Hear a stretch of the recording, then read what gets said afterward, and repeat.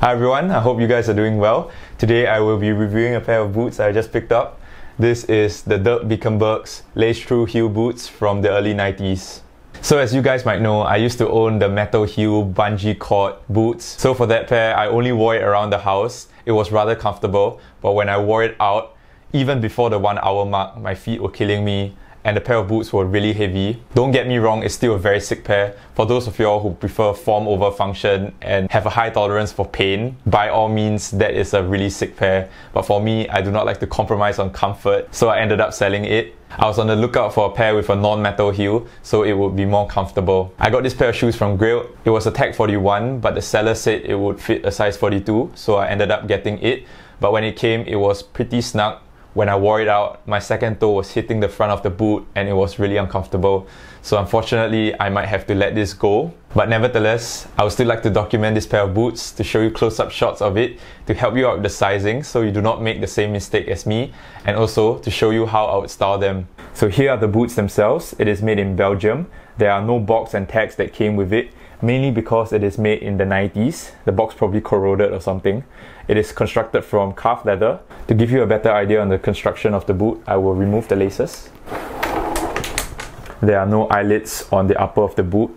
It is made from a disconnected tongue. This is the shape of the toe box. At the back, you have a shoelace holder or tab where the laces run through. There's more stitching at the heel cup for added reinforcement. This is the wooden heel with a hole passing right through where the shoelaces run as well. At the back of the tongue, it is a brown and smooth leather. The insides are made from suede and there is a brown leather tab. The insole is glued on and it has the Dirk Bikkembergs branding. This is the welt of the boot. This is the bottom of the boot. In the middle, you have a tag that says real leather, made in Belgium, and the sizing tag. In the middle of the forefoot portion, there's added traction. For the heel, the seller told me that he replaced the whole heel, and at the back, it is Vibram. Now, I would run you through the lacing system. You place the leather lace at the front of the boot, ensuring that there is equal length on both sides. You take the ends of the shoelace and run it through the hole of the heel. And you repeat it with the other side.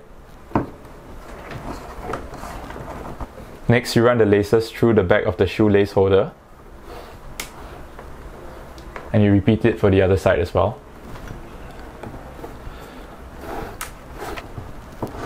Next, you'll run the laces through the hole of the heel again.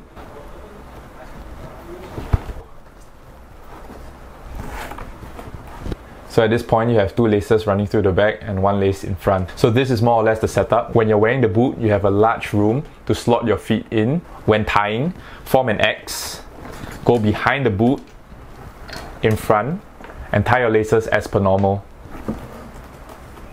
It's amazing how with only two features you can have such an intricate lacing system.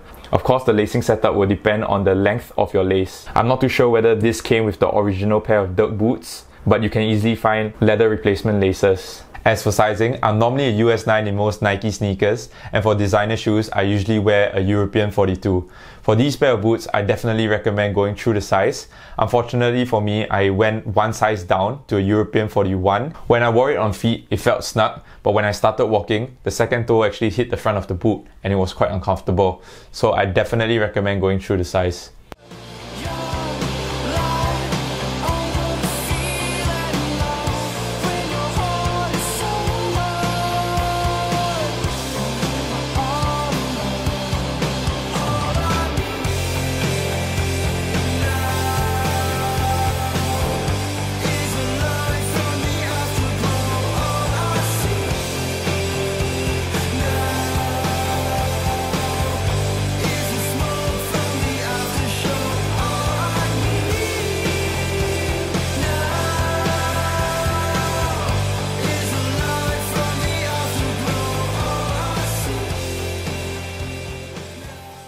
So that was how I styled the pair of boots. Although it has a crazy lacing system going on, but it pairs seamlessly with most pants. You can wear it with straight cut pants, flat pants, or even tuck them in to show it off. I really love the silhouette. It isn't overly chunky nor is it too slim. It has a very nice balance. To sum up my thoughts on these pair of boots, compared to the metal heel bungee cord model which I previously got, this is so much more comfortable and lighter. Putting them on is a breeze, it is so quick and simple And I love the fact that the laces are highly customizable. You can tie them in many different ways.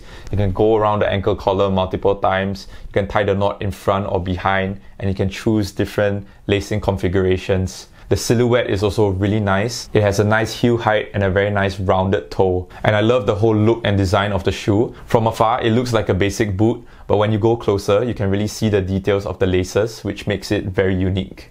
All in all, it is such a shame that it is not in my size, if not I would have kept it.